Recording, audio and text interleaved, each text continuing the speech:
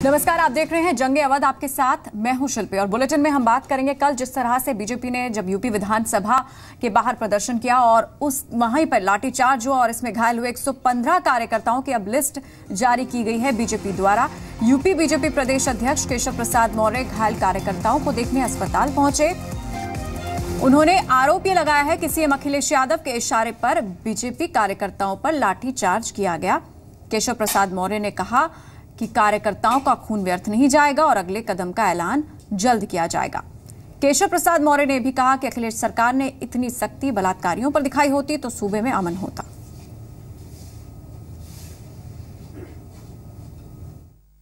हज़ारों की संख्या में कार्यकर्ता घायल हैं। सैकड़ों कार्यकर्ताओं के हाथ, पैर, सर, ये तोड़े गए, फोड़े गए।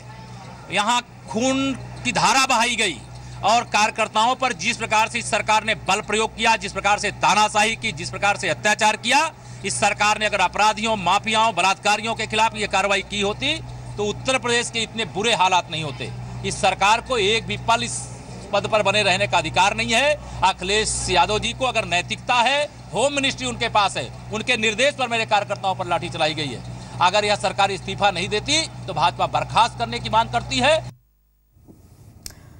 और विवेक तिवारी हैं हमारे साथ इस खबर पर। विवेक, कानून व्यवस्था को लेकर यह प्रदर्शन था, किया गया, लेकिन कल किस तरह से कानून व्यवस्था ही वहाँ पर जो तस्वीर सामने आई वही सवालों के घेरे में है। अब 115 लोगों की लिस्ट इसमें जारी की गई है, जो घायल किए हुए हैं।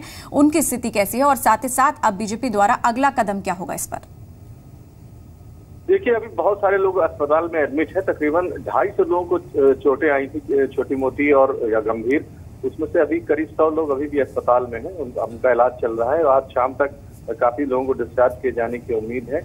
इस बीच पुलिस ने केशव प्रसाद मौर्य समेत बीजेपी के तकरीबन एक दर्जन सांसदों विधायकों और तीन हज़ार अज्ञात लोगों के खिलाफ हजरतगंज कोतवाली में मुकदमा दर्ज किया है जिसमें बलवा करने पथराव करने पुलिस पर हमला करने जैसे आरोप लगाए गए हैं। ये मुकदमा अब चलेगा पुलिस इसकी जाँच करेगी।